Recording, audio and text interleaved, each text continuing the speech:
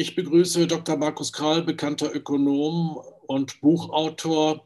Es geht um die Frage, wie lange können Notenbanken diese Krise noch wegdrucken? Wie hoch können Schulden noch gehen? Äh, und wann ist der Staat pleite, Markus Kral? Was sagen Sie? Also ich glaube, dass die Staatspleite unvermeidlich ist. Sie ist nicht nur möglich, sie ist unvermeidlich, und zwar in ganz Europa und zwar einschließlich Deutschland. Und das hat einen ganz einfachen Grund. Die Verschuldung Deutschlands selbst ist so, wie sie im Moment wächst, sowieso nicht tragfähig, nachhaltig tragfähig. Aber die verborgenen Schulden, die Deutschland übernommen hat über Tage zwei und die ganzen Garantien im Zuge der Euro-Rettung übersteigen die Kraft dieses Landes bei einer normalen Kapitalmarktzinsbildung schon lange und bei weitem. Und deswegen wird sich der Kollaps äh, der europäischen Staatsfinanzen nicht auf die Südländer beschränken. Die, der Euro hat im Grunde genommen als Infektionskanal gedient, um auch die deutsche Fiskalpolitik äh, in die Pleite zu führen. Äh, das weiß die deutsche Fiskalpolitik und ihr Finanzminister noch nicht, aber das werden sie bald herausfinden. Ja, nun sind Sie als Crash-Experte bekannt und all die Argumente, die Sie in den vergangenen Jahren ins, äh, geäußert haben, stimmen ja nun. Jetzt haben wir durch die Krise ja quasi den Faktor 10 äh, äh, bei all diesen Problemen. Man hört zum Beispiel, dass Hunderttausende von Bankkrediten nicht bedient werden, dass in der Eurozone etwa 1,5 Billionen Euro bei den Banken im Feuer stehen. Wie soll ja. das enden?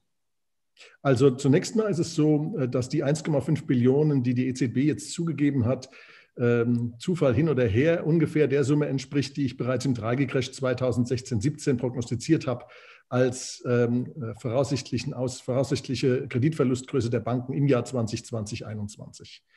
Ähm, das ist also, ich würde mal behaupten, Punktlandung. Blöderweise ist es so, dass die EZB der Realität hinterherhängt und dass ich mich verschätzt habe, nämlich in der Größenordnung.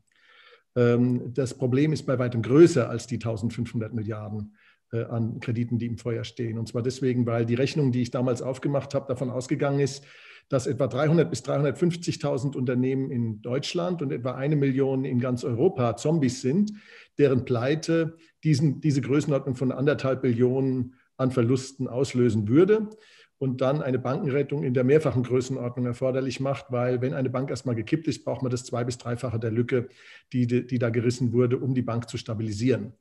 Äh, jetzt haben wir dank Corona und dank der äh, Bilanzfälschungspolitik, die unsere Regierung betreibt, nämlich äh, insolvente Unternehmen nicht mehr Insolvenz melden lassen zu müssen ähm, und ausgefallene Kredite nicht mehr abschreiben zu müssen in den Banken, eine gewaltige Ansteckungswelle von Krankenunternehmen an Gesundunternehmen. Also die gesunden Unternehmen machen mit den Zombies weiterhin Geschäfte, haben dann Forderungen an die. Diese Verbindlichkeiten der Zombie-Unternehmen werden nie bedient und so werden gesunde Unternehmen, gesunde Arbeitsplätze ohne Not mit in den Abgrund gerissen.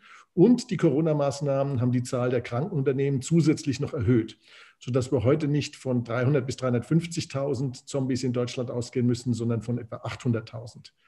Das ist jedes vierte Unternehmen und das betrifft auch alle Größenklassen. Und das bedeutet, dass wir nicht 1500 Milliarden Euro im, Vorstehen, im Feuer stehen haben, sondern eher die dreifache Größenordnung.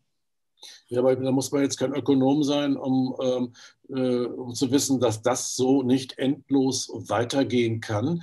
Gibt es denn da überhaupt einen Ausweg aus dieser Sackgasse? Es gibt aus dieser Sackgasse keinen Ausweg mehr außer der Katharsis. Äh, und die Katharsis bedeutet das Ende des Systems. Ähm, das ist auch, äh, wie ich mittlerweile irgendwie eingesehen habe, äh, auch eine Unvermeidlichkeit, äh, die ihr Gutes hat. Und zwar deswegen, weil dieses Finanzsystem, das wir uns da gegeben haben, dieses Fiat-Geldsystem, so konstruiert ist es, dass es die Politik zum Missbrauch einlädt. Und dieser Missbrauch, der hat jetzt die letzten 15 Jahre in steigendem und gigantischem Maße stattgefunden. Und dieser Missbrauch hat jetzt Ungleichgewichte angehäuft, die das System nicht mehr tragen kann. Und äh, der Zusammenbruch dieses Systems ist die notwendige Voraussetzung dafür, dass es durch ein besseres System ersetzt wird. So funktioniert die Evolution auch in der Ökonomie.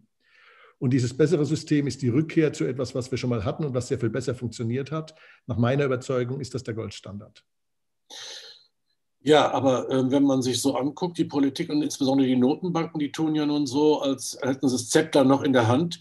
Ich meine, die haben, glaube ich, in diesem Jahr allein äh, 15 Billionen, andere Stellen sagen 25 Billionen, jetzt global gedruckt. Ähm, ähm, also ich meine, naiverweise könnte man doch auch sagen, ja, kann doch jetzt so weitergehen. Äh, ja, äh, es ist überhaupt erstaunlich, wie weit die die Dose die Straße runterkicken können. Aber es ist auch klar, äh, dass das Maß an äh, Pulver, das sie zum Verschießen haben, begrenzt ist. Und die Begrenzung dieses Pulvers, die liegt im sogenannten Seigneurage-Kapital der Zentralbank. Anders ausgedrückt im Wert des Gelddruckmonopols, das sie hat. Die Zentralbank kann in gewissem Umfang Geld drucken, ohne dass es zu hyperinflationären Erscheinungsformen kommt. Und dieses Ausmaß, was sie drucken kann, hängt davon ab, welche Art von Assets sie dafür in ihre Bilanz nimmt und wie groß das Bruttosozialprodukt ist, das der Währungsraum abdeckt. Ganz generell und verallgemeinernd kann man sagen, wenn die Zentralbank mehr schlechte Assets im Buch hat, schlechte Assets heißt Assets, für die sie das Geld nicht wiederbekommt, das sie dafür ausgegeben hat. Also wenn sie Anleihen für 100 kauft und wenn sie verkaufen will, kriegt sie nur noch 10 dafür, dann hat sie 90 verschleudert. Ja? Wenn also dieser Verlust äh, an schlechten Assets das Bruttosozialprodukt ihres Währungsraums übersteigt, dann ist Ende Gelände. Und ähm, bei der aktuellen Geschwindigkeit des Gelddruckens in der Eurozone wird dieser Punkt erreicht sein, ähm, wahrscheinlich ab dem dritten oder vierten Quartal 2021. Wenn es der Zentralbank gelingt, das zu verlangsamen oder wenn das Bruttosozialprodukt deutlich wachsen würde, dann wird es auch noch ein bisschen länger dauern. Dann geht es nach 2022 rein. Aber die deflationäre Phase, die dem vorangeht, schließt eigentlich fast aus, dass es wieder wächst, äh, sodass mit Wachstum nicht zu rechnen ist. Im Gegenteil, diese deflationäre Phase und die kommende Bankenkrise sorgt dafür, dass wir wahrscheinlich keine Entschleunigung sondern eine zusätzliche Beschleunigung des Gelddruckens sehen werden. Denn diese ganzen Rettungsaktionen, die kosten Geld.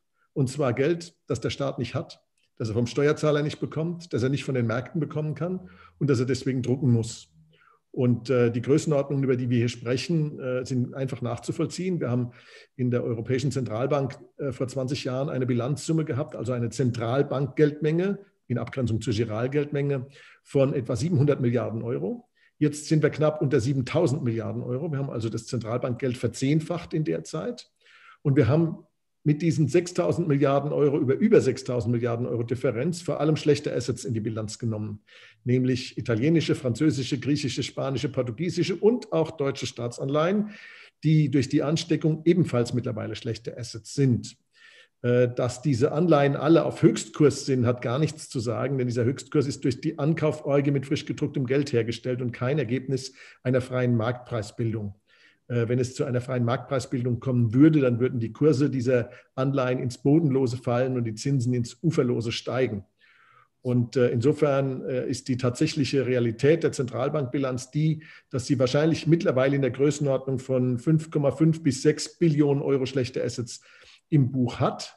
Das Bruttosozialprodukt der Eurozone beträgt noch knapp 10 Billionen Euro, nachdem es ja dieses Jahr gewaltig geschrumpft ist. Ähm, und äh, bei der aktuellen Gelddruckgeschwindigkeit werden die restlichen 4 Billionen bald gedruckt sein. Da bin ich mal gespannt, äh, wie das so weitergeht. Aber ich meine, wie, wie könnte denn der Kollaps oder Zusammenbruch dann aussehen? Geht das, läuft das über die Banken oder dass Frau Müller am Kiosk dem Euro nicht mehr traut und sagt, ich möchte jetzt lieber mit, Geld, mit Gold zahlen? Äh, wie, wie könnte sowas praktisch aussehen, so ein Kollaps? Nein, das ist richtig. Ähm, einmal werden, wird natürlich die Bankenkrise, die das Ergebnis der Zombie-Pleiten sein wird, gewaltige Mengen an Geld verschlingen. Das muss gedruckt werden. Das wird eine Weile gut gehen, eben so lange, bis die Grenze des Bruttosozialprodukts an schlechten Assets überstiegen ist. Denn wie wird denn die Bankenrettung laufen? Die Bankenrettung wird so laufen, dass die Banken verstaatlicht werden und die schlechten Kredite in gewaltige Verbriefungen gepackt, die dann die EZB zum Nominalwert, also zum vollen Wert und nicht zum realen ökonomischen Wert, aufkauft. Und damit wird sie diese Kredite aufkaufen zu einem Kurs von 100, obwohl sie auch nur noch vielleicht 5 oder 10 wert sind und wird damit steroidartig ihre Zentralbankbilanz aufpumpen. So wird die EZB zur größten Bad Bank der Welt. Und ähm, dann wird es dazu kommen, dass zunächst mal die Wechselkurse zum Dollar und zum Pfund fallen. Ähm, und in einem zweiten Schritt wird es zu einem Vertrauensverlust kommen und zu einer Explosion der Importpreise von Energie. Und diese Importpreise von Energie werden unsere Wirtschaft unter Druck bringen und alle Preise nach einem angebotsschockartigen Muster, wie wir es 1973 schon mal gesehen haben, in Bewegung setzen. Und an dem Punkt äh, werden die Märkte extrem nervös werden und es wird zu einer Flucht aus dem Geld kommen. Äh, diese Flucht aus dem Geld findet ja in einem gewissen Umfang schon statt. Anders sind ja die Kurse von Aktien und Immobilien nicht zu erklären.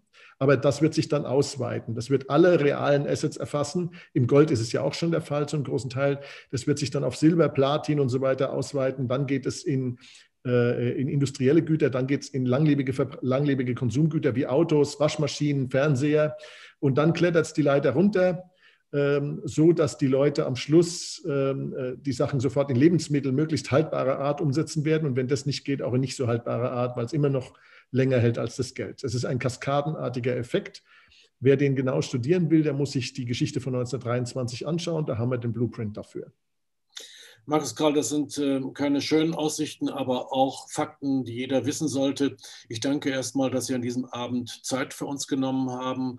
Hier noch der Hinweis auf unseren Telegram-Kanal. Dort heißt der MM News offiziell und unser Grundgesetz-Shop, das wir hoffentlich bald wieder haben. Markus Karl, vielen Dank nochmal für Ihre Zeit. Mein Vergnügen. Bis dahin.